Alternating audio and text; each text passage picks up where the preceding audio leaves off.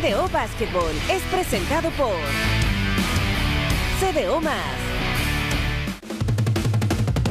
¿Qué tal? ¿Cómo están? Gusto de saludarlos. Esto es CDO Basketball junto al gran, al enorme, al increíble y hoy día joven por la camisa que usa Diego Araujo. ¿Cómo estás? Muy bien, ¿y tú? Muy bien, muchas ya gracias. post cumpleaños, ¿eh? Divina. No, pero ya que no me pasó, invitaste. No te invité. Eh, podía ir el sábado, tenía permiso y todo. De ¿Tenías permiso? Estaba caño. Hicimos el básquetbol, un partidazo. Ya tenemos a un invitado que vamos a hablar de ese partido. Y después de eso, como no ratificaste invitación, dije, no, claro, él debe haber dicho, ¿para qué voy a invitar a este viejo de mierda de 53 años? Este, ¿Para qué? Vamos, hagamos puros cabros No, jóvenes. no pongas palabras en mi boca. Es que yo, yo creo porque me, me mencionó de compromiso este, en la semana. estoy porque parece que yo escuché que alguien le dijo, "Oye, Bueno, en ahora me arrepiento de mencionarlo. y, y ahora no, y me- entonces como yo escuché, Salgo para él atrás. me dijo, me dijo, ah, sí, el sábado, por si quieres ir. Pero no se No. esperé la confirmación, nunca llegó, Pero no estoy hay, que, hay que mandar una carta, dijo. No, pero no sé, saber, que mandar de un- última saber dónde una era. invitación. Pero de última saber dónde era Pero y eso yo- sabía. yo- Tú sabes dónde yo vivo.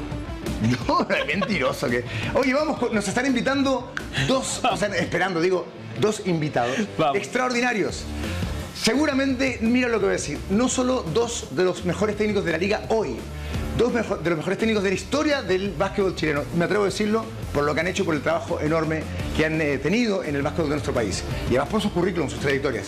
Voy a partir por el vasco y le voy a decir agur al Escarre Cascó, al gran José Ángel Samaniego. ¿Cómo estás? Hola, buenas tardes, muy bien. Encantado de poder acompañaros. El fin de semana me tocó relatarlos un partidazo. Es cierto, y, y- y tú lo sabes porque es un hombre de análisis y de análisis real, incluso sin ponerte el cassette, como se dice en Chile, respecto de eh, cuando tienes una cámara o una, una grabadora. Eh, es cierto que el equipo contrario estaba con muchas bajas, que le costaba pero también es cierto que un técnico tiene que adecuarse a la realidad y aprovechar esa realidad, que fue exactamente lo que hiciste en el partido que le planteaste a Cipriano frente a lo de Conce, donde arrasaron ustedes, lo pasaron por arriba. Sí, yo, creo que es una variable importante, es decir, las, las ausencias eh, de ambos equipos, en este caso posiblemente por la cantidad de jugadores que no pudo presentar en la nómina la Universidad de Concepción condicionaron mucho el desarrollo del partido. Está claro que si ambos equipos hubiéramos contado con nuestros jugadores, todos nuestros jugadores, el desarrollo del mismo, no sabemos el resultado, pero el desarrollo del mismo hubiera sido eh, muy diferente. ¿no? Pero también es cierto que en, to- en todos los escenarios uno tiene que tratar, eh, de adaptarse lo, mejor posible. Yo creo que eh, evidentemente mis jugadores tenían una motivación altísima por, por lo que había en juego y sobre todo porque bueno veníamos que- de una circunstancia un poco atípica, ¿no? Que en, un en una fase regular tú vayas a jugar contra el mismo rival en dos fechas consecutivas, ¿no? Y en este caso como este era un partido el que el que estábamos recuperando este pasado fin de semana en Quilpue, que era eh, un partido que se reprogramó porque la Universidad de Concepción representaba al país en la, en la Champions, pues se dio esa circunstancia y, y la derrota siete días antes en, en Concepción yo creo que eh, nos dio un plus de energía, un poco buscando eh, reivindicarnos como equipo. ¿no? Y, y, bueno, el desarrollo del partido nos favoreció, sobre todo ese final de segundo cuarto que creo que fue el que marcó tanto la diferencia en el marcador ese parcial al, al descanso como, como luego ya el, el resto del encuentro. ¿no? Eh, José Ángel, discúlpame, eh, creo, ahí sobre la materia, eh, justamente, soy ambicioso tal vez y te pido disculpas de antemano en hacer un análisis tal, vez demasiado técnico de algo que sucedió durante el partido y que yo sentí lo aprovechaste muy bien. Va sobre Evans Woods. No puede marcarlo, no puede tomarlo. Woods no es un, jugador de esas características, por lo menos no es un pivot. Entonces, aguantar un pivot era muy difícil. Le cambian la marca y para mi gusto fue peor. Va sobre él más veces Michael Rivera. Y esa situación la terminas aprovechando, mandando a Evans a jugar casi como un pivot clásico, debajo del aro, porque su ventaja era enorme en la marca en cuanto a centímetros, ¿no? Eh, ¿Eso sucedió o fue una casualidad del encuentro lo mandaste tú a hacer? Bueno, eh, primer- primero porque es una seña de identidad nuestra del equipo. Estamos, eh, yo creo también la Universidad de Concepción con la contratación de sus extranjeros también está buscando ser más dominante cerca de, de, la canasta y nosotros ya lo, lo solemos hacer de manera recurrente eh, contra todos los equipos y contra todos los rivales. Es cierto que ya eh, por el contratiempo que sufrió Roque Johnson durante el partido de la semana anterior en Concepción, eh, la Universidad de Concepción tuvo que acabar sin, sin él el partido y el, digamos que la propuesta de Cipriano fue la que repitió este fin de semana, con lo cual nosotros ya estábamos, digamos, en preaviso y ya lo habíamos hablado, eh, pero también yo siempre digo lo mismo, ¿no? que creo que muchas veces los entrenadores lo que tenemos que hacer es no, no perjudicar a nuestros equipos, ¿no? yo creo que claramente eh, la lectura de mis jugadores era tratar de interpretar dónde podíamos tener la mayor ventaja y ellos sin que yo tuviera que hacer dar grandes indicaciones desde la, desde la banca, pues ya eh, interpretaron correctamente el juego y buscaban esa, esa ventaja. Bueno, me dicen que está José Luis también ya conectado nuevamente con nosotros. ¿Me escucha bien, entrenador? ¿Qué tal? ¿Cómo está? ¿Qué tal, chicos? Buenas tardes. ¿Cómo están? Disculpen, pero bueno, me está costando conectarme a internet. No, pero agradecemos. no hay problema, todo lo contrario. Un gusto saludarte, José Luis. Tuve la suerte de eh, poder saludarlo en Castro, en un partido amistoso que estaba jugando, Ancud y Castro, y este, nada, me acerqué en entretiempo, muy cordialmente José Luis, que estaba trabajando, este, me saludó también, así que nada, desde ahí un abrazo grande, José Luis, este, no sé si escuchaste, pero estábamos hablando con José Ángel y decíamos, dos de los mejores técnicos, yo digo, no del básquetbol hoy, de la historia de la liga, Bueno, te agradezco muchísimo, la verdad que es, un gusto escuchar la palabra de ustedes y obviamente que, estar en, esta comunicación con José y poder escucharlo y compartir este momento para, para mí es muy grato, ¿no? Bueno, entrenador, conversábamos justamente también con, José Ángel un poco para, para eh, quizás conversar los cuatro dentro de lo mismo, ¿no? Eh, Colegio Los Leones que viene de un fin de semana intensísimo, eh, después vamos a estar hablando también de esa derrota con, con Español, José Ángel, pero preguntarte, José Luis, un poco cómo han estado estos días no sé si de descanso, usted me dirá, pero, pero estos días, digamos, sin acción, al menos este último fin de semana en la liga. Bien. Respuesta contundente. Bien. Estamos. Este, no, es que sea tan este, escaso de, palabras, este, José Luis, sino que otra vez le, jugó una mala pasada en internet. Trataremos, y si no, bueno, este, esperemos otra oportunidad de estar con José Luis para poder hablar muy bien con él. Y seguimos aprovechando a José Ángel. Este, le preguntamos, le preguntamos justamente de, ese partido contra, contra Español de Talca. José Ángel eh, lo plantea bien el, equipo, el equipo de Talca, eh, pero eh, bajo los ojos de José Ángel Samaniego, ¿qué sucede en ese partido ahí en, en Quilpue? Bueno, eh, hay partidos que son fáciles de explicar y difíciles de entender. Es decir, yo ya sé que para, todos los que seguimos la liga, eh, entender cómo eh, Leones pierde de local contra Español de Talca no es muy fácil de entender. lo, primero, como vosotros estabais comentando, ellos juegan un gran partido. Juegan muy, muy, por encima de su rendimiento habitual. Eh, mérito de su entrenador, mérito de sus jugadores. Yo creo que hay un, un jugador que, que hace posible todo eso, que es Francisco Bravo, que lleva una dirección de partido extraordinaria durante todo, todo el desarrollo del mismo, que mantiene al equipo en los momentos complicados que tienen y que tiene la, claridad o la claridad de, tener el momento donde pueden dar un golpe que puede ser definitivo y lo hacen. ¿no? Y por otro lado, nosotros venimos de jugar 24 horas antes contra la Universidad de Concepción, que aunque el marcador pueda parecer que es distinto, el partido fue durísimo. El ritmo de juego de todos los que lo pudieron seguir, me imagino que se percibe mucho más en el propio gimnasio que cuando uno lo ve en la retransmisión por vuestras cámaras fue altísimo. Eso genera un desgaste. Lógicamente, cuando tú eres capaz de ganar al equipo campeón y ha sido un partido de máxima tensión, el jugador tiende a desconectar, a, distenderse. Eso es una, por desgracia, está la condición humana. Y aunque estemos alertando desde el staff en las horas previas al partido de las señales de, de riesgo y de amenaza que tiene, es muy difícil volver a conectarse al partido, ¿no?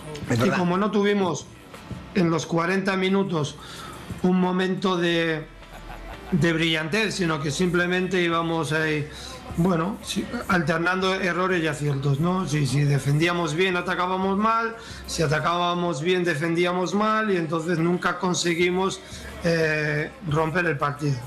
Y, todo, y tú ya te ibas dando cuenta que según se acercara el momento decisivo, eh, la realidad era que te podías encontrar con lo que finalmente sucedió. Esto en España un entrenador muy prestigioso ya fallecido, Manuel Comas, lo definió como la táctica del conejo. A ver. tan simple como cuando tú vas a cazar un conejo, por lo que tienes que tener la paciencia, cuando se esconde la madriguera, estar alerta y cuando saca la cabeza de la madriguera, asestar el golpe definitivo. ¿no? Y lo que hizo Talca en todo momento, ¿no? Ellos mantenían una desventaja en el marcador mínima, esperaron su momento eh, y en el momento que nosotros cometimos dos, tres errores de manera consecutiva no lo castigaron, consiguieron una ventaja de siete puntos cuando quedaban menos de tres minutos y no tuvimos margen de reacción. Y, y fueron justo merecedores de la victoria, tampoco hay que hay que quitarle brillantez al trabajo que hizo nuestro rival el domingo. Pero como siempre digo, ¿no? uno, uno es eh, eh, ni es tan bueno como el mejor de sus días ni tan malo como el peor. ¿no? Una cosa es uno es su promedio. Yo creo que el trabajo del equipo está siendo bueno indistintamente del traspiés del domingo, que a todos nos ha dolido mucho. Pero bueno, yo trato de normalmente de, de ser más compasivo que, que punitivo en, esto, en estos momentos, porque ya sé que el jugador se siente mal, ¿no? porque cuando lógicamente se señala el final del partido es cuando el jugador se da cuenta de, la, del error cometido ¿no? y que, que, era una oportunidad para, para, pues para estar eh, más cerca de, del primer puesto y, y, de intentar garantizar alguna de las eh, plazas más altas de la clasificación al final de la liga regular. José Ángel, quiero quedarme con, con, algo que mencionaste un poquito, este, este desafío en este formato de liga, jugar dos días seguidos, eh, viajar a veces o jugar en casa nunca es fácil. Em, eh, ¿Ha sido este uno de los mayores desafíos que has tenido al menos esta temporada? El hecho de, mantener la concentración, de que lo mismo que mencionabas básicamente, si le ganaste a la Universidad de Concepción después no hay que aflojar con Español de Talca, o sea el equipo que sea. Ese es un gran desafío que, se ha presentado como staff técnico para, esta temporada. ¿Y cómo lo sorteas? ¿Cómo se hace eso? ¿Cómo, claro, cómo, finalmente cómo quizás evitas que, suceda esta situación bajo tu punto de vista? Claro, que se confíen. ¿Cómo, ¿Cómo hace un técnico para que el jugador no se confíe? Eh, no, es, fácil. Primero, porque el formato de competición que lo entiendo, ¿no? porque entiendo que al final cuando eh, la geografía del país eh, hace que la distancia entre los equipos sea tan larga, cuando tú viajas al otro lado, ¿no? los que vamos del centro vamos hacia el sur o los que vienen del sur vienen hacia el centro, para disminuir costos buscar jugar dos partidos de manera consecutiva. Yo lo entiendo.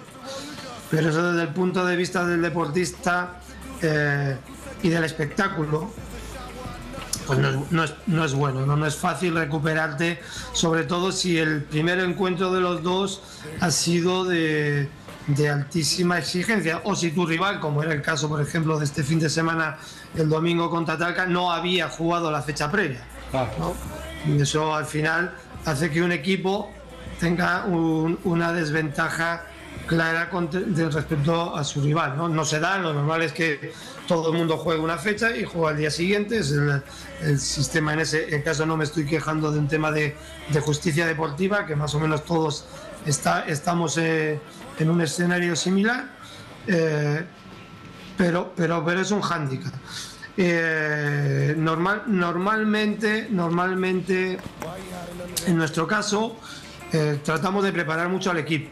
Es decir, no centramos mucho tanto de preparar el partido del rival. No, no, fue un tema de que preparamos específicamente el partido de Concepción y no le prestamos atención a, a, Talca. O sea, no, no, fue la explicación porque nosotros realmente intentamos no prestar mucha atención sea cual sea el rival, es decir, no le vamos a dar mucha atención ni a Castro ni a Ancud, que son los rivales de este próximo fin de semana, y sí nos centramos mucho en nuestro propio equipo en cómo tenemos que seguir desarrollando y seguir creciendo a lo largo de la temporada para que llegado el momento de, del playoff, que es donde se va a decidir eh, realmente dónde, vas a terminar tú la competición esta, esta temporada, ahí uno llegue con el mayor nivel posible. ¿no? Y eso es un poco como nosotros planificamos y tratamos siempre de tener las cargas de trabajo ajustadas sabiendo que hay que jugar dos partidos de manera consecutiva, con lo cual no solamente te centras en llegar bien al primer partido, sino que sabes que tienes que dejar algo de reserva de energía para el segundo partido. Eso condiciona sobre todo eh, el trabajo que vas a hacer jueves y viernes cuando vas a jugar sábado y domingo o miércoles y jueves cuando eh, nos ganamos el interés y la atención de vuestro canal ¿no? y te toca jugar el, el partido del viernes. ¿no?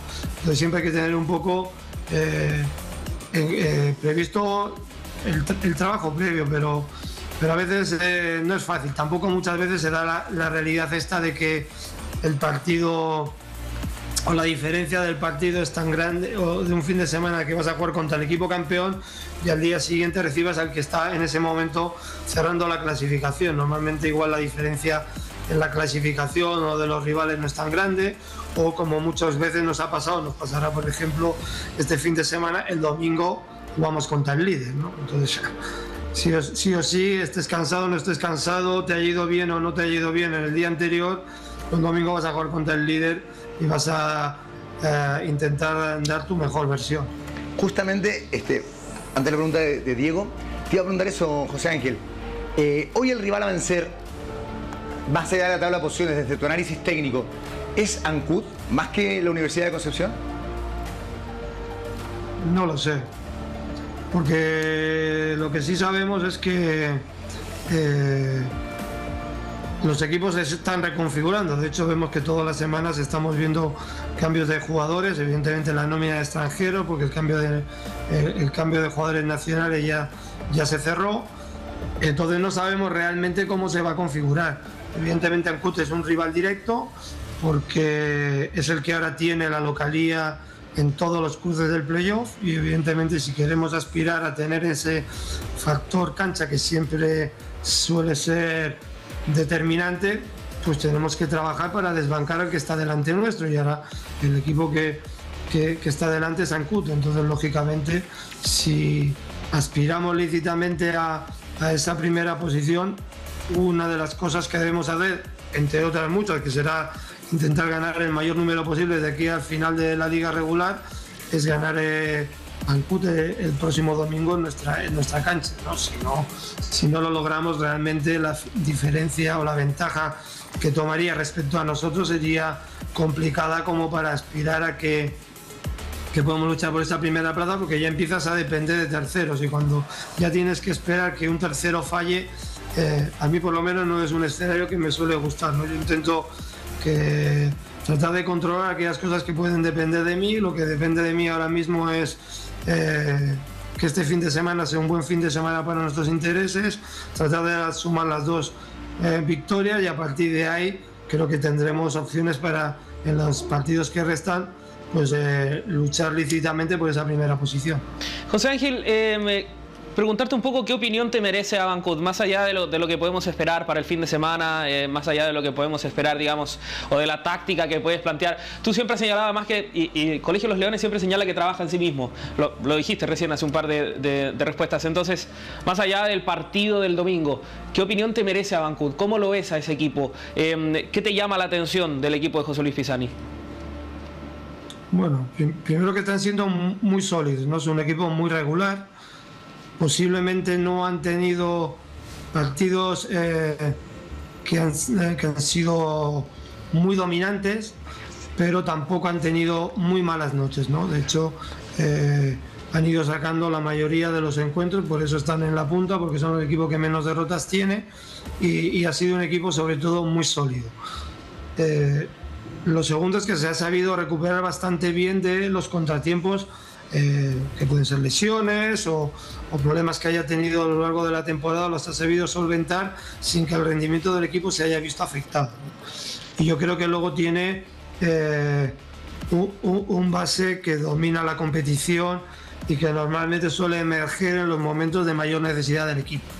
Y eso siempre, digamos que es un, un seguro de vida que siempre tiene ahí Ancud. ¿no? Yo creo que Franco Morales es un jugador que difícilmente tiene una mala noche en el momento en el cual el equipo más lo necesita. ¿no? Puede tener minutos o rotaciones o partidos menos brillantes, pero raramente coinciden con el partido que el equipo más lo necesita.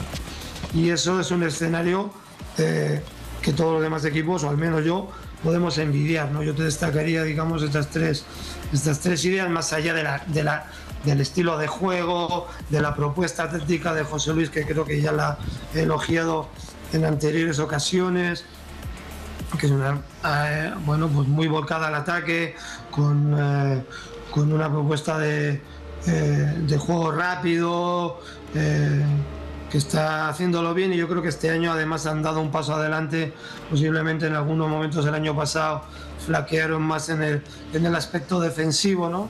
Y cuando algunos equipos un poco fuimos capaces de encontrar respuestas a su enorme talento ofensivo, pues ellos sufrieron un poco más, ¿no? Yo creo que este año han ajustado más la defensa, de hecho posiblemente es un poco más lo que estoy analizando eh, en estas horas previas, en estos días previos al partido de ellos, porque nosotros no tuvimos, más allá de que fue un fin de semana muy complicado para nosotros, nos llevamos con la baja de Carrión, eh, nos encontramos con todo el problema de los incendios en las horas previas a a jugar ese, ese, encuentro, ¿no? con toda la preocupación que nos generaba el tener toda la familia aquí en la región sufriendo los incendios y nosotros un poco allí en, la, eh, en Chiloé, ¿no? a horas previas de jugar el partido y algunos jugadores pues no tuvieron la cabeza lo suficientemente centrada. Pero más allá hubo un planteamiento de partido de Ancud que nos complicó mucho nuestro juego ofensivo. Es cierto que ya no está Secher con nosotros, está Jerry Evans, en aquel partido jugaba jugaba eh, Gil Miles, será baja segura para el partido este fin de semana.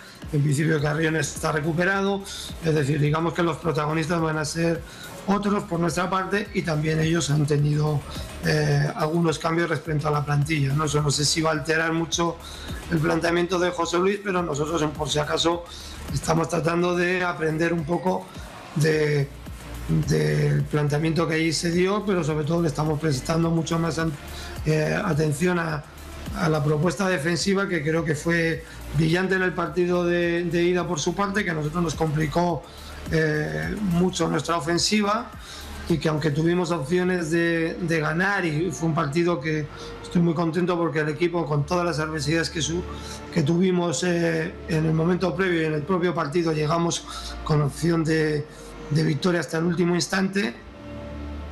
bueno, es un partido que, que hay muchas lecciones que podemos extraer y que estamos intentando aprender.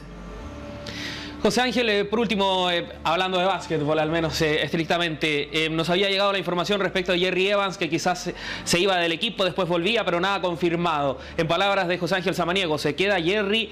¿Va a estar un tiempo lejos del equipo? ¿Cuál es la situación? Bueno, Jerry Evans, ya cuando, cuando llegó a Leones, tenía ya un contrato firmado en Venezuela Mm, pero la liga venezolana, bueno, yo creo que ni yo soy, sería capaz muy bien de explicar los motivos. Sufrió un retraso en su inicio y lo que debía ser eh, una liga que iba a empezar, eh, yo creo que era a finales de marzo, principios de abril, se demoró y ahora se va a iniciar a principios del mes de mayo. Eso nos daba la posibilidad de incorporar al jugador, nos generó un debate interno importante porque sabíamos que él tenía ese compromiso eh, firmado, pero considerábamos que en el momento que eh, decidimos reemplazar a, Sachel no había ningún jugador que nos llenase en el mercado en ese momento. No son, no son momentos eh, buenos estos para reempezar jugadores en la liga chilena porque, porque el mercado no te ofrece muchas alternativas. ¿no? y entonces pues apostábamos por Jerry, él manifestó un interés sincero de venir a jugar con el que había sido su, su rival las dos últimas temporadas, ¿no? que nos había privado de haber por lo menos tenido alguna opción mayor de, de luchar por un título de liga.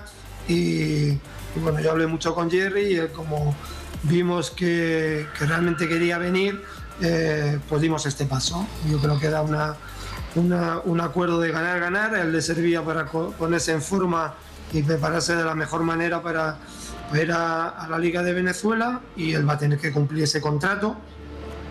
y nosotros ya asumimos que tenemos que, que encontrar un reemplazo y de hecho llevamos ya semanas trabajando en encontrar eh, el reemplazo adecuado. Lo que luego pudiera pasar, pues nunca se sabe, porque no sabemos hasta dónde va a llegar Jerry Evans en la Liga de Venezuela, eh, hasta dónde va a llegar el recorrido de Leones en la Liga Nacional. Lo que sí sabemos es que si nosotros al menos tenemos alguno de los cinco cambios todavía disponibles en ese momento, no sabemos si podría volver en algún momento Jerry Evans eh, para alguna de las instancias finales de la liga. No es el escenario que yo contemplo en este momento.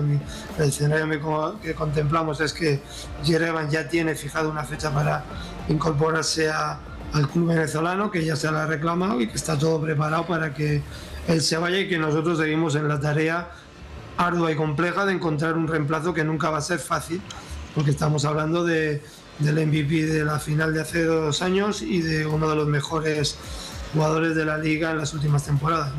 José Ángel, este, lo saco un poquito del básquet para conocerlo un poquito más. Eh, ¿Usted está con familia acá? Este, ¿La familia está, está lejos? Eh, eh, ¿En casa? bueno, imagino papá, en fin. Cuéntame un poquito de su vida. Bueno, mi señora es chilena y eso es un ah. poco, aunque nos conocimos en España, mi señora es chilena, nació en la quinta región, eh, evidentemente ella tiene eh, mucha familia aquí, y yo tengo distribuida entre la quinta región y, la, región metropolitana toda la familia de mi señora, con lo cual aquí estoy bastante bien acompañado y, ha sido un apoyo enorme tanto para, para mí como para, mi familia eh, contar con el apoyo de, toda la familia de, mi señora. ¿no? y evidentemente en un momento determinado fue uno digamos de los factores que, que, me llevaron a tomar la decisión de venir al básquetbol chileno. Posiblemente si mi señora no, no hubiera sido chilena yo nunca hubiera llegado al básquetbol chileno. No por nada sino porque posiblemente no hubiera tenido ni, la posibilidad de conocerlo como ya lo conocía antes de haber dado este paso ¿no? es verdad. Y yo tengo una niña tengo una niña eh, pequeña porque el básquetbol me llevó a, pensar mucho en mi profesión y poco en crear una familia y por lo tanto mi niña es mucho más joven, yo tendría la edad de ser el abuelo de mi hija, yo soy su padre, eh, esa, es la realidad y, vivimos eh, en Viña y aunque ahora mismo estoy en Quilpue dando la entrevista porque yo ya estoy en, en mi lugar de trabajo habitual. Y no sé, te podría contar más cosas, pero digamos, digamos eso es lo básico. Te voy preguntando, eh, ¿tu, niña cómo se llama? Se llama Maya, tiene nombre, tiene nombre vasco. Muy bien. Aunque luego de segundo tiene el nombre de su madre, Jimena. Ah, muy bien. Este no, si ya me dijiste, tu señora chilena, sabemos quién manda en casa, está clarísimo. Sabemos quién nos manda, entre otras cosas, porque tampoco estoy en casa. Con lo cual tampoco, tampoco tengo mucho Tampoco tengo mucho que decidir, no. Sí, sí, sí. Bueno, en realidad eso este, es la historia de la humanidad. Yo creo que en España y en el País Vasco debe pasar algo más, o menos parecido. Este... Eh, quería, preguntarle a, José Ángel eh, qué opinión le merece, o sea, el País Vasco hermoso en, ah, España. Eh, ¿Qué opinión le merece Viña del Mar? Y donde es él, bueno, este, él está en una zona hermosa del País Vasco, San Sebastián, él es un guipuzcoano, y están allí las mejores tapas del mundo. Del mundo, creo, ¿no, José Ángel? ¿qué, qué opinión le merece, digamos, la comparación con Viña del Mar? Bueno, eh, sin duda los que conocen Donosti, en Euskera, San Sebastián, yo diría que es una de las ciudades más hermosas de España. Creo que Viña es una, una de las ciudades más hermosas, al menos de las que yo conozco de Chile. Yo creo que eh, Viña, al igual que San Sebastián, es un buen lugar para vivir. Más allá de la realidad actual, ¿no? Que también yo creo que es un tema muy, muy general en el mundo, ¿no? de, la poca seguridad que, nos encontramos, pero eso no, yo no creo que sea un problema de Viña, de la quinta región, de Chile, no, yo creo que es un tema del, mundo, eh, ¿no? pero más allá de eso, creo que yo al menos, eh, y soy un hombre de campo, y lo digo así, a mí las grandes ciudades no me gustan, pero así como digo que San Sebastián o Vitoria, que es la capital del País Vasco, que es donde yo tengo mi residencia, cuando vivo en España son ciudades agradables para vivir. Yo que soy una persona que el ruido, el tráfico, la contaminación no, no me gustan, yo no me gustan los, las, las grandes ciudades, eh, entendiendo todos los beneficios que tienen, para mí son prefiero renunciar a todo lo que te entrega una gran ciudad y me quedo con, con la vida sencilla del campo, la tranquilidad, el poder pasear con calma. Eh, Viña es una ciudad, a mí me resultó una ciudad cómoda y me he sentido acogido y, eh, y me he adaptado sin muchos problemas, ¿no? Y eso es porque le encuentro ciertas similitudes con mi San Sebastián natal o, o- o Vitoria, que es la ciudad de- en la cual yo he fijado mi, mi residencia ya como adulto, ¿no? Claro, bueno, él es de, de- de- de otra, de otra provincia del País Vasco. Son cuatro las provincias españolas eh, eh, vascas en- eh, que existen, más tres, más tres francesas. Pero no sé, imagino que es un hombre de básquetbol. En 30 segundos, pero ya no, ya no tenemos tiempo. José Ángel, que algo te debe haber provocado el título después de 40 años del Athletic Bilbao de la Copa del Rey, ¿no? El viernes. Sí, los que me conocen saben que yo no soy muy futbolero. Yo sé. A mí el fútbol es un deporte que, pero entre otras cosas porque nunca lo he conocido. Otra cosa que me interesa el fútbol como hecho social, me interesa el fútbol desde el punto de vista del entrenador. De hecho, yo he leído mucho sobre entrenadores de fútbol, tengo relación con entrenadores de fútbol, pero yo realmente un partido de fútbol me cuesta verlo. Ajá. Pero, pero volviendo a lo que tú me dices, evidentemente yo me crié en el País Vasco, he vivido la rivalidad entre la Real Sociedad y el Atleti de Bilbao, además en una época gloriosa del fútbol vasco donde todavía mantenían la esencia, ¿no? Todavía el Atleti lo mantiene, la Real Sociedad no, ¿no? Aquello de jugar sin extranjeros, con jugadores nacidos y formados en tu región y con eso pues lu- luchaban y optaban por los títulos contra el Real Madrid, contra el Barcelona, contra los grandes equipos, los más poderosos, ¿no?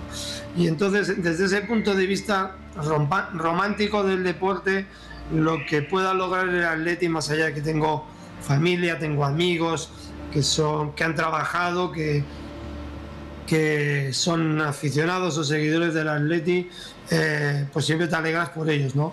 Entonces, en ese sentido sí que me genera un poco de, cariño y, de alegría, ¿no? Pero si hubieran perdido no hubiera pasado nada. Yo creo que la afición del Mallorca, me imagino que estaban, luchando por ese título ansiadamente también. Mallorca es una tierra en la que he vivido, entrenado allí al básquetbol, con lo cual al final eh, yo, cre- yo creo que más allá del, resultado, de quién levanta el título, al final es estar. ¿no? Yo creo que lo que es admirable del Athletic Club de Bilbao su, su proyecto deportivo, ¿no? Y Claro. cómo está enraizado con una sociedad y la identificación de una tierra con, con, con un deporte y con, una, y con una visión del deporte, ¿no? Y yo creo que eso va mucho más allá de si hubieran ganado, de que han ganado o, o de que no lo hubieran logrado.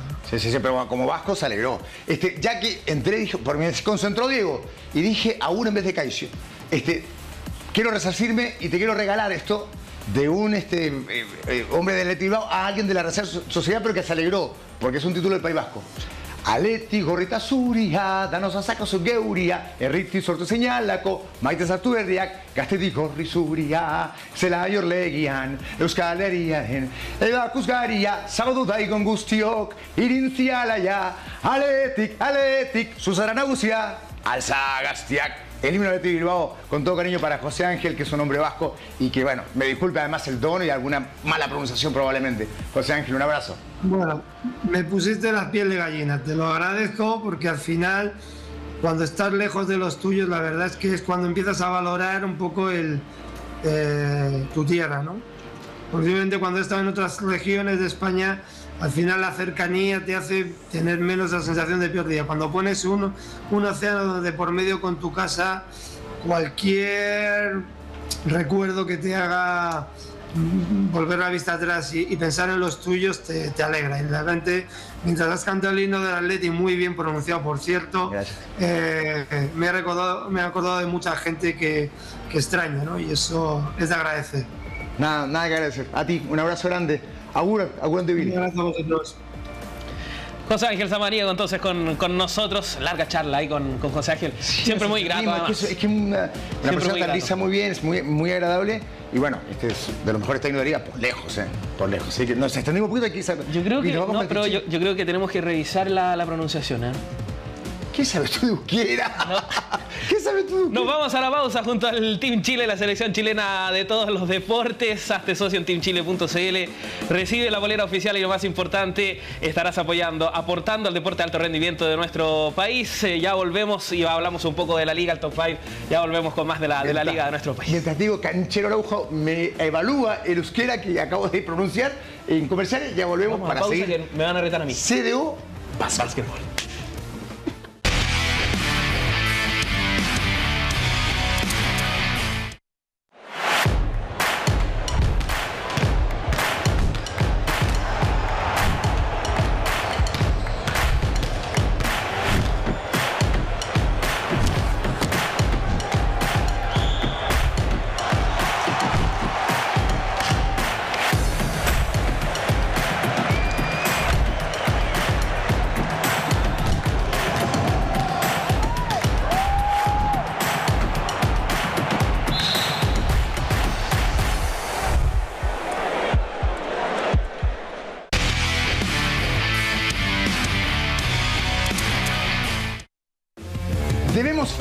Cosas, entre otras, top 5, tabla de posiciones y lo que se viene el próximo fin de semana, Diego Araujo. Vamos a revisar las cinco mejores de este fin de semana. Revisión rápida, se nos va el tiempo en CDO Básquetbol.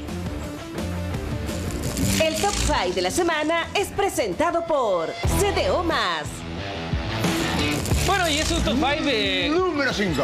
Vamos a ver, vamos a ver, eh, por supuesto, de lo, que, de lo que estuvimos viviendo este fin de semana, Colegio de los Leones ante la Universidad de Concepción, ahí Jerry Evans con, con la defensa. Interesante lo que dijo, a Jerry se va, ya tiene, Es un hecho. tiene fecha de... Es un hecho y sabíamos nosotros la liga empieza en Venezuela a principios de mayo, así es que probablemente esté jugando uno o dos partidos más y se va. Y con la 5 y la 4 tenemos a Jerry, así que lo van a extrañar bastante. En el bloqueo, en el tapón y después en este triple. Y mira, lo que hace el ídolo, Evandro Arteaga, que jugó muy poco en el partido anterior y en este jugó muchísimo. ¿Y sabes qué? Marcó la diferencia. Siempre. Dentro de lo que podía ser de Conce en un equipo muy diezmado, fue el mejor. Vamos con la medalla de plata, la número 2 de este top 5, otra vez con la Universidad de Concepción, ahí se va Carrasco con la penetración. Eran Cuditano, siempre sabiendo hacer daño a Colegio de los Leones en las últimas Muy buen finales. conductor. Muy buen conductor. Clave. Y en la número 1, De este top fight del partido de lo de Conce Ese con es del partido, por supuesto. los Leones. y ahí está, finalmente el, la número 1, la mejor de este fin de semana. Muy buena. ¿eh? Alejandro Vergara. Tú sabes que la jugada es buena. Mira el pase de cómo mueven rápidamente la pelota. Y esa que es muy antigua. Pero ya no se ve tanto la pasada por la espalda. Con la que él se quita de encima a Mijares. Nada de decir que es del País Vasco. ¿no? Ah, ya. pues. Dale con No, la... no, es de los Andes. donde- Con la, tabla, la tabla de posiciones, Abancut liderando todo el fin de semana libre. Lamentablemente no pudimos ahí eh, conversar en profundo con José Luis Pisani, pero y yo me imagino que estarán tranquilos, estarán relajados, ¿Sabes la aprovechando estos días. que yo le iba a hacer? Este, depende. En fútbol hay dos visiones muy. ¿Es bueno descansar Sí, pero a veces, o pierdes ritmo? o a veces te mata, sí. Claro. Pero de Leones ya va segundo con eh, cuatro derrotas, eso sí, y ya tiene un partido más jugado que Abancud. O sea, Abancud ya es puntero exclusivo. Cuando llega a los 19 partidos jugados tiene 35, entonces nadie le quita esa, esa, esa punta. Porque Eh, lo, de, lo de Conce ya también jugó 19 partidos, o sea, uno más y ya tiene cuatro derrotas también. No lo quiero sacar a Bancut de la, de, la conten- eh, de la contienda, pero si Colegio los Leones y la UDEC animan una nueva final, qué importante es el segundo lugar. Porque el que se queda con el segundo, se queda con la localía, es lo que hablaba también José En tanto se, tanto se ha eliminado a Abancud de la competencia. Claro, justamente. Este, pero ¿sabes qué? Cuidado, ¿ah? Yo veo a Abancud muy bien, yo veo a Abancud Eh, peleando. Cuditano, desde Sí, que fuiste no, a la isla no, quedaste en De, de- Vamos de con, con Español de Osorno, marcha cuarto, buena campaña del equipo osornino, 14 y 5, las ánimas con ese 2 y 7. A mí me parece que Español ya cuarto, de ahí no lo mueven, me parece, está teniendo una muy sólida campaña, es muy difícil moverlo, y lo mismo con las ánimas, muy difícil moverlo de ese quinto lugar. A mí, para mi gusto, los cuatro mejores equipos de la liga están allí ya ahora posicionados. Capaz que cambie, eh, uno orden. pasa segundo, otro Claro. primero, pero los cuatro mejores equipos son Abancud, Colegio de los Leones, UD Conce y Español de Osorno. Y aquí qué bonita que está esta pelea. Desde el sexto, y yo, lo incluyo hasta Sportiva Italiana. Desde el sexto hasta el undécimo sí. está muy bonita la pelea. Por los últimos dos cupos que quedan, eh, me- perdón, por el, por el sexto lugar, que es el último que clasifica directo. El play-in. Claro, y después desde el séptimo al, al undécimo, que es el play-in. Claro, exactamente. Y este, bueno, ahí están un montón. Subió Naviero Ulloa Castro, que es el otro equipo que Chilote, viejo. Chilote. Nacido en Natale, pues, O muy sea, natalino. Vasco, Chilote, pero quiero- Natalino. Quiero mucho a Chilote, mucho a y Chilote. eh, ese Puerto Montt, Liceo Pablo Neruda y Español de Talca, que también está bonito, hay que verlo desde esa perspectiva porque el que sale último desciende. Entonces, también está bonita esa pelea. Y allá si abajo. fue capaz Español de Talca de ir a Quilpué y ganarle a Colegio de los Leones, es que cuidado, o sea, eh, tiene, tiene desde ese punto de vista algo, algo todavía importante que decir. Siempre con el Tachuela Bravo, ¿ah? tremendo el Tachuela histórico que volvió a Talca esta temporada. Vamos ahora con lo que se viene este fin de semana, justamente revisamos rapidito, se nos vienen dos tremendos partidos. El sábado, UC que recibe a Bancud. Ojo que UC ha sabido complicar en esta temporada a los equipos grandes. Para mí, hay que tenerle respeto al equipo cruzado, al elenco de Bernardo Murphy. peligroso. Bueno, el fin de semana pasado la UDEC le tuvo que ganar en tiempo extra. Exacto. O sea, con, con un triplazo de Bandro Arteaga que lo mandó a- a la- al tiempo extra, a la prórroga. O sea, lo puede complicar Ancud. No está fácil el fin de semana para el elenco ancuditano. verdad. Porque después el domingo, también por las pantallas del CDO, Colegio Los Leones ante el equipo O de sea, ¿cuándo me toca tú qué mandas acá? ¿A ti? No, ¿cuándo? ¿Qué día me toca? ¿Qué día te toca a ti? Transmitimos qué día. Los dos. ¿O no? Ya, ok. El jefe, ¿qué va a hacer? Muy bien, eso eh, durante el fin de semana. Y estos esos son los partidos más importantes. Repite, por supuesto, CDO y CDO más. Por supuesto, vamos a estar ahí como, como canal de todos los deportes. Ya, nos movemos de la liga.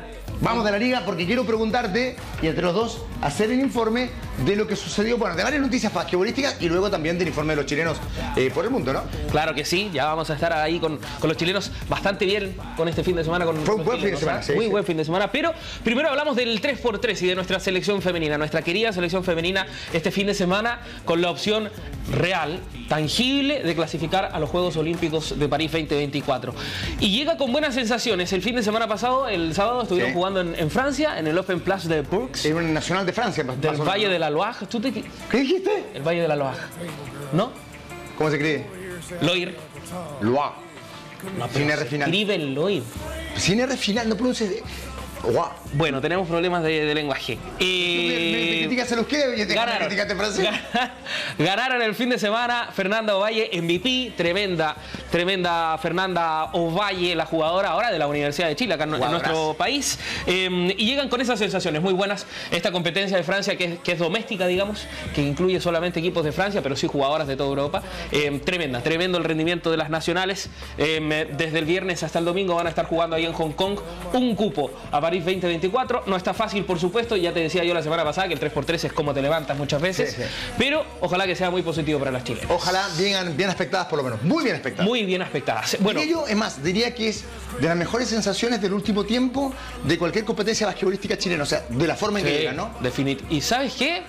Me atrevo a decir de, de los deportes colectivos. Sí, sí, es verdad. Sacando el balón mano, porque el balón mano clasifica a todos los mundiales habidos y por ahí. Y el hockey césped que también... llegó a los mundiales. Pero tú ahí llegas bien aspectado, pero sabiendo que vas, que, que igual está este, Argentina, medio Claro, complicado, ¿no? claro. Cuando, cuando vas a una competencia donde están los, Los mejores, claro. En cambio acá no, acá puede pasar realmente cualquier cosa. Puede pasar cualquier cosa. Eh, seguimos con el 3x3, lo que está sucediendo en los Juegos Bolivarianos de la Juventud en Sucre. Medallas de plata para los muchachos y para las muchachas. Eh, nuestro verdugo en esta ocasión en las dos finales fue Venezuela, un tremendo país, por supuesto, basquetbolístico. De básquetbol histórico y Eh, tradicional. siempre. y ojo, quizás duele por ahí, porque ambas selecciones, femenina y masculina, la habían ganado a Venezuela, eh, digamos, en la fase regular. Mm. Pero en la final, lamentablemente, no pudieron los muchachos. Más allá de eso, medallas de plata espectaculares en los primeros Juegos Bolivarianos de la historia de la juventud. Así que eh, espectacular Chile en la palestra. Eso es lo importante que me parece que hay que Usted es un periodista joven y usted interpreta al nuevo Chile ganador. No diga espectacular cuando son medalla de plata, diga correcta presentación. ¿Sabe por qué? Porque los chicos piensan igual, igual de esa manera, no como usted. Piensan que es una correcta presentación, porque ellos piensan que Sí. lo, importa- lo espectacular es el oro. Sí. Y me encanta que los chicos tengan esa, esa, hoy esa mentalidad. Usted siga esa mentalidad, que joven, sea ganador. Vamos con eh, la Liga 2. ¿Qué pasa con la segunda división del básquetbol de nuestro país? Eh, Colo Colo que eh, marcha bien, todavía continúa a paso firme en esta edición de la segunda división del básquet de nuestro país. 108 a 70 ganó el fin de semana, le ganó a Arturo Prat eh, allá. En eh, San Felipe le estuvieron ganando entonces los salvos al equipo sanfelipeño. En el gran partido Gonzalo Rodríguez, 13 puntos, 9 rebotes y 4 asistencias para ser el MVP. Colo Colo que marcha invicto, 3 ganados. ¿Favorito en la, en la Liga 2? Para mí es el favorito a ser el campeón, sin duda. Perfecto. Pero Cuéntame, por favor, de mi equipo, de Truenos. ¿Cómo le fue a Truenos que jugaba frente a Chillán? Truenos ganó. Al Vamos. fin, sumó. Sumó, que quizás no había sido el, el inicio de liga deseado por ahí para, para el equipo de los Morales, pero sí, ahora sumó, le ganó a Municipal Chillán por 76 a eh, 58. Nick Morales, 13 puntos, 11 rebotes y 7 Hermano de asistencias. Sí, por supuesto, para ser el MVP del partido. Primera victoria en esta edición de la liga, por ahora octavos. Eh, nada dicho, por supuesto, queda mucho. Van tres pero... partidos, ¿no? ¿Ah? Iban jugado tres partidos Sí, recién, ¿no? sí eh, nada dicho, pero tienen que agarrar tracción, es importante. Comenzar a sumar desde temprano, me parece, en esta muy apretada Liga 2. Eh, se viene un fin de semana bastante atractivo. Eh, va a estar eh, jugando Árabe contra Luis Mate, dos equipos, los otros dos equipos que están invictos, y Colo Colo juega con Brisas y Luis Mate Larraín también, así que debería ser un fin de semana muy atractivo de Liga 2. Perfecto. Vamos a la pausa, pero ¿sabes qué? Después de esto, sí, lo ofrecido. Fue un buen fin de semana. Quédese ahí porque se va a enterar de lindas noticias respecto a los chilenos por el mundo del básquetbol. Nos vamos a la pausa siempre con el Team Chile, la selección chilena de todos los deportes. Hazte socio en teamchile.cl. Recibe, por supuesto, la polera oficial y lo más importante, aporta tu granito de arena a la selección y, digamos, al deporte de alto rendimiento de nuestro país. Pausa y ya estamos de regreso. ¿Cómo pronunciaste Loa? ¿Qué dijiste? Loa.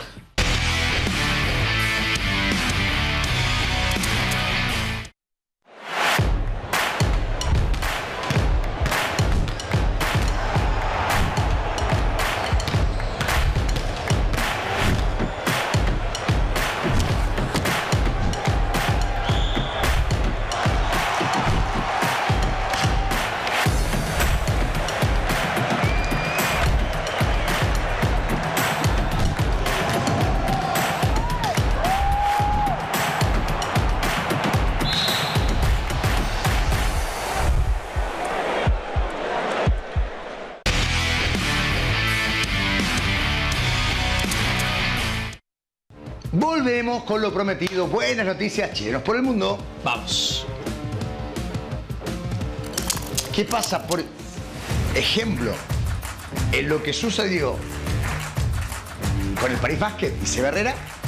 Bueno, eh, eh, recordamos que el, que el programa es grabado, ¿no? Pero eh, a la hora que estamos saliendo ahora en, en vivo, digamos, como estreno por el canal de todos los deportes, ya jugó el París Basketball su primer partido de la final de la Eurocup.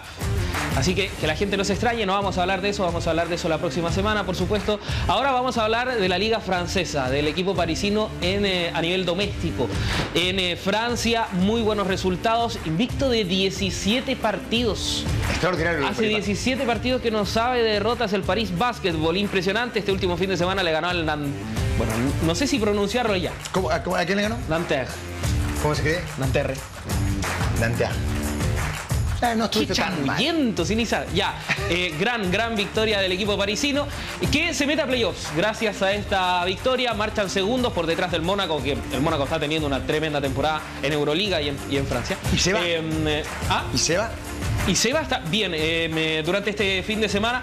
Buenos números, 8 puntos me parece, o 5 puntos metido por ahí, por ahí Seba no lo tengo en este minuto, pero eh, un buen rendimiento. Buen rendimiento para Seba que, a ver, por supuesto que no lo va a dar todo pensando en el partido de hoy. Exacto, porque, o sea, fue guardado un poco por eso, porque tuvo menos minutos que el partido anterior. Sí, entonces, eh, de todas maneras, muy buenas las sensaciones para el París, que está siendo protagonista en Francia, entonces, y a nivel europeo.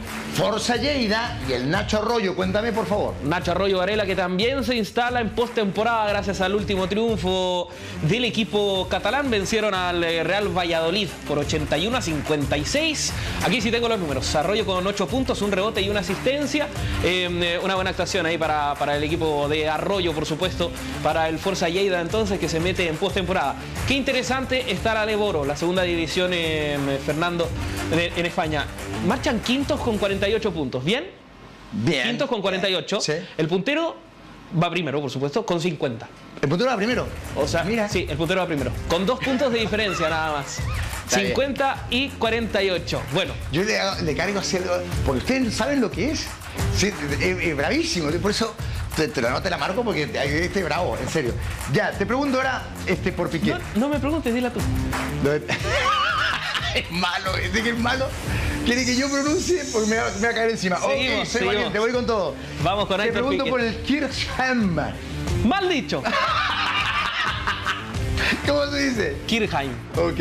¿Y con Piqué que se llama? Aitor. ¡Aitor! ¡Es vasco! ¿Lo ¡Aitor! No, dijiste De ahí Aitor. revísalo. Bueno, está, uno. eh, victoria, victoria para los caballeros de, de. Kirchheim. Eh, nueva victoria. Se impusieron por 85 a 75 al Vecta 2. Eh, jornada 31 del certamen de esta segunda división alemana. 8 puntos, 5 rebotes y 2 asistencias en. Ojo, jugó bastante. 27 minutos en cancha para, para Aitor. Aitor. Piquet. Eh, clasifican también a postemporada, o sea, ya tres chilenos en, en postemporada, eh, ya asegurada en Europa en sus distintas ligas domésticas. Muy bien, Nico Carbacho. Y no, ya, ok. Como estamos empatados, eh, digamos los dos mal. Porque esta forma de pronunciarlo bien. O, o tú lo sabes. La Broga Gornixa. No, no sé. Pero no se De dice así, lo- no se dice así, sí. Pero estamos, ya, Está ya- españolizado. Ya estamos en paz. Así que, como empatamos, Ya bien. la con Gorniz, que los dos lo decimos mal, no importa. él- lo importante es saber cómo le fue Nico Carbacho. Nico Carbacho que, bueno, está en medio de un descanso también, lo que conversábamos. ¿Será bueno, será malo? Ojalá que sea positivo, porque recordemos está fuera por ahora de postemporada el, el Labroga Ornixa de, de Nico Carbacho. 10 días sin acción. Vuelven eh, durante este fin de semana. Van a estar eh, volviendo em, eh, para, para, digamos, seguir luchando por, por la postemporada. Recordemos que no ha sido una mala temporada para el equipo Carbacho, pero em, a nivel local sí están sufriendo em, de más, podríamos decir. Por ahora están octavos, se están clasificando, pero es falso, porque eh, hay un equipo del Wroclaw más abajo, que también está mal pronunciado, por cierto, eh, un equipo más abajo que tiene un partido menos y con el punto que sume por ese partido, si es que gane o pierda, o sea, va a quedar octavo, o sea, está noveno. O sea, lo saca sí o Está sí de fuera. la clasificación. de los- Está fuera, por ahora está fuera. los- Y el domingo vuelve a jugar, después de 10 días. Así que vamos a ver cómo, cómo llega Nico Carbacho y su equipo a, la- a la- a esta nueva fecha. Volvemos a Sudamérica, te pregunto por Felipe Iñaco en el Obras Basket. Muy buenas informaciones de- para el oriundo de Penco. Eh, vencieron este fin de semana a Independiente de Oliva, 82 a 67. Un buen triunfo por 15 puntos. Bien, bien el triunfo de, del Obras de, de Pipe. Cuatro victorias al hilo también en Argentina. ¿Recuerdas que que, que pasa un poco con- lo mismo que la UDEC, como han estado jugando a nivel internacional o estuvieron en la Champions. Quizás sumar fin de semana seguido solamente de liga es algo positivo, me parece, para todos los equipos y en este caso también para Logras. Y en este caso también para Pipe Iñaco. ¿Te acuerdas que habíamos dicho que quizás por ahí habían bajado un poco los números? Es verdad. MVP. MVP del partido. qué 18, maravilla. 18 puntos, un rebote, dos asistencias. Gran actuación de. Felipe Iñaco entonces. Espectacular lo de Pipe Iñaco este fin de semana. Marchan séptimos, la Liga Argentina también está interesantísima porque eh, hay nada de diferencia entre, el, entre, digamos, el tercero y el quinto. Eh, puede estar para cualquiera, eh, eh, digamos, el título y sobre todo quedar con la mejor posición posible pensando en postemporada. La buena Liga Argentina donde Felipe Iñaco está brillando, cosa que nos alegra muchísimo. Bien, no sé, pero si el propio Nico, ¿cuántos minutos nos quedan para, para ver si alcanz- para Sí. ver si alcanzamos a Nico? Volvemos al estudio y vamos a, a presentar, por supuesto, el básquetbol internacional. Listo, alcanzamos un minuto. Sí, alcanzamos, dice eh, Nico, que vamos con un resumen, cortito así como podamos. Queda muy poquito tiempo del básquetbol. in- Informaciones que yo quiero decirles como fanáticos. Dame dame un segundo. Que te estaba esperando. ¿Cómo pronuncias eso? Warriors. Warriors. Listo, empatamos dado. Warriors, bueno, justamente Warriors Lakers. Warriors Lakers hoy día, cuidado. Eh, eh, Warriors Lakers hoy día la- en la noche, ¿ah? se viene espectacular y nosotros también mandamos un saludo a un grande del básquetbol ancuditano, a Roberto Chaguán, que en paz descanse en nombre de todo el CDO, por supuesto, eh, será extrañado sin duda Claro sí. eh, en el ambiente de la naranja, en la isla de Chiloé, un grato. Bueno, más que grato, digamos, sentido. Sentido abrazo por parte de todo el canal de todos los deportes para Roberto Chaguán, que en paz descanse, que su familia también esté lo más tranquila posible dentro de lo, de lo que sucede, ¿no? Un abrazo Em, para toda su familia. Un abrazo, sin duda, por parte de, de Cedo Básquet y de todo el CDO. Nos despedimos con el Team Chile, la selección chilena de todos los deportes. Hazte socio en teamchile.cl, recibirás la polera oficial y por supuesto estarás aportando al deporte de alto rendimiento de nuestro país. Hoy día más serena ¿eh? la, la despedida, recordando No, no Roberto. Dios, Dios castiga, pero no a palos. Rompí los lentes. Por ser malo contigo. Pésimo. Pero ¿sabes por qué somos? Porque eres muy malo conmigo, muy malo. Nos vemos el fin de semana, que esté muy bien. Gracias, esto fue Cedo Vasca. Chao, gracias.